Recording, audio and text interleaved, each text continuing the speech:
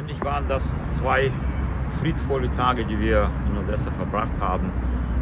Zwei Begegnungen waren aber doch solche, die vom Krieg uns viel spüren lassen haben. Es war die Begegnung mit, den, mit einer Einheit, die dafür sorgt, dass die verwundeten Soldaten von der Front zurückkommen. Man hat gemerkt, wie sehr ihnen der Krieg zusetzt. Und die zweite Begegnung ist hinter meinem Rücken zu sehen. Das ist ein Supermarkt namens Fosi. In diesem Supermarkt bin ich öfter mit der Familie einkaufen gegangen. Ich kenne auch von ihnen aus.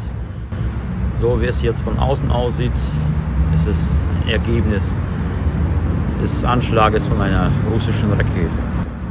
Der Krieg ist tatsächlich in diesem Lande und trotz der Menschen, die wir in Cafés und auf den Straßen gesehen haben, ist dieser Krieg allgegenwärtig. Diese Menschen davon zu schützen, brauchen sie mehr als Transport der humanitären Hilfe.